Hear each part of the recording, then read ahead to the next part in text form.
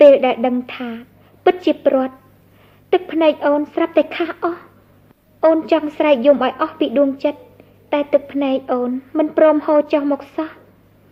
អ្នកនាងម៉ៅសារ៉េតនឹងហែកបេះដូងរួងយកការពិតនៃចិត្តរបស់នាងជូនសង្សារនៅបត់ពេលដែលព្រាត់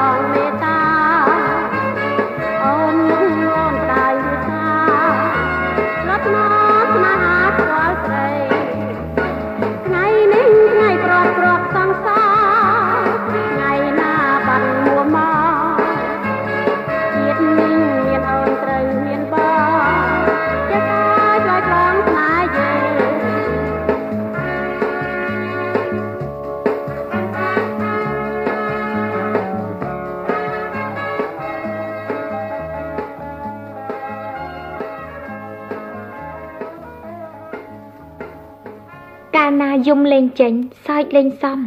តបប្រមល់ទល់ពុទ្ធោមើលទៅផ្កាយដូចជាខ្ពស់ពេកមើលទៅមេឃដូចជាឆ្ងាយដាច់ស្រយាល